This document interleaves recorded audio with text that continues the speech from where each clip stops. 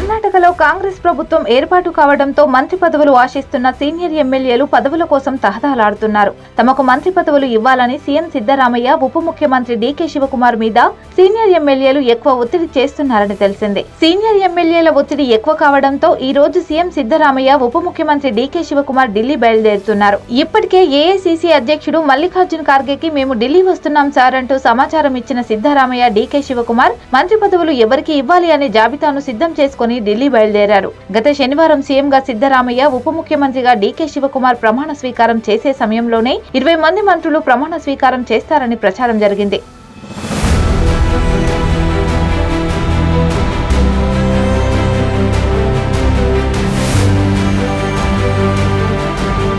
అయితే శనివారం ఉదయం సీన్ మొత్తం రివర్స్ అయింది. సీఎం సిద్దరామయ్య డీకే శివకుమార్తో పాటు ఎనిమిది మంది మంత్రులు మాత్రమే ప్రమాణ స్వీకారం చేయడానికి Congress party high command green signal ఇచ్చింది. మంత్రి పదవులు ఆశపడుతున్న నాయకులు ఎవరు?